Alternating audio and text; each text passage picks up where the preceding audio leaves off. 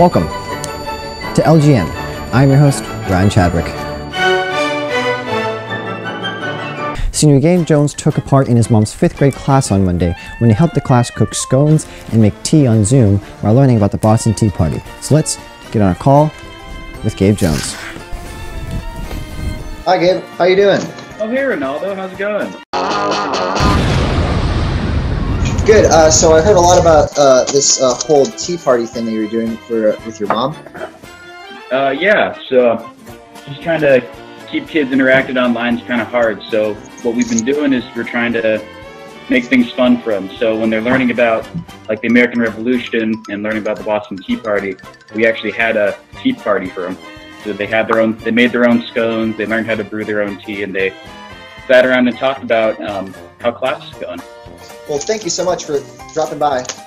Congratulations to our ceramics student, Jasmine Fafani, who won the National Silver Medal for her ceramics work. Jasmine was chosen from hundreds of thousands of students across the country by judges in New York. According to her teacher, Mr. Shearing, Jasmine is a dedicated worker who puts a lot of energy into every sculpture she makes, from meticulous planning beforehand to painstaking detail at the end. Jasmine's integrity and value she brings to her work are exceptional. Senior student and soccer standout Ian Bermudez Ramirez has signed to play soccer at, for the Oregon Institute of Technology in Clackamas, Oregon. Ian was a first team All Pacific Conference player his senior year. And Coach Porter, the head coach of Oregon Institute of Technology, had this to say about Ian. Ian was one of our first signees for 2020 and is a player that has good feel for the game. He likes to go forward, tackle hard, and is a fierce competitor. Ian is going to fit into our system right away, and we're excited to have him to be a part of our program. Good luck, Ian. Sounds like great things are in store for you. Congratulations to our Liberty Health teachers and students for working together and winning the Create Real Impact Grant for safe driving messages. A $1,000 grant was given to schools with the most student entries. Topping the list of entries was the Liberty High School. When told about the $1,000 Create Real Impact Award, health teacher Lauren Jenkins said, Thank you for a wonderful news. It's been a real trying few days with our staff taking on the crash courses and online learning platforms. The news just gave me chills.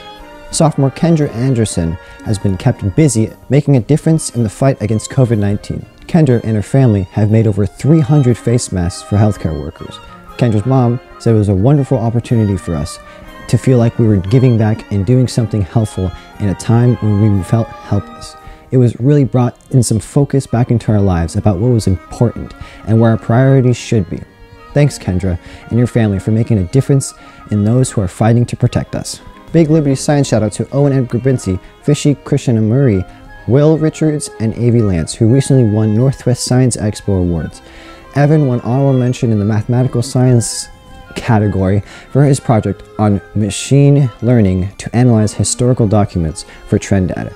Fishy, Will, and Avi won third place in the computer science and robotics category for their project creating a differential swerve module that could move a machine in any direction without having to turn its body. Rachel Lawberger was recently named the Simpy Fee All-American. The Simpy Fee All-American recognition recognizes the student athletes who are heavily involved in community service, academics, and persevere through life's challenges while maintaining high levels of success. Every Friday night, the Liberty athletic fields come on around others in the country at 8.20 p.m., that is 2020 military time, to recognize the graduating students of 2020. And finally, we have a little message from Mr. G. Cue that message. Uh, right there, Cyrus. I want them right there, and then zoom out. Uh. Hello, Liberty community. I have some pretty good news for you over here. We are still working with our Sparrow and so your community service hours still will work. I don't know what you're doing out there as far as community service, but if you're doing anything at all whatsoever regarding helping out your fellow neighbor, anybody around you, that is considered community service and you can still do it. Here's the good news though.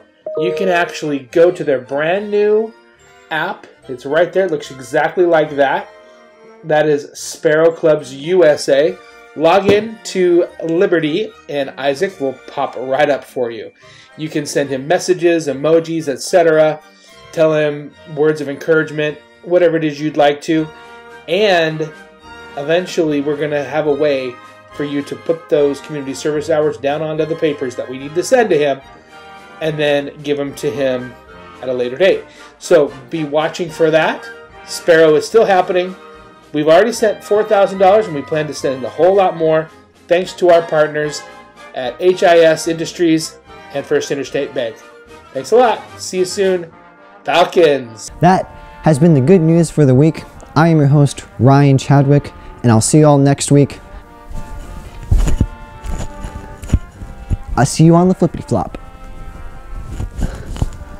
Uh, uh.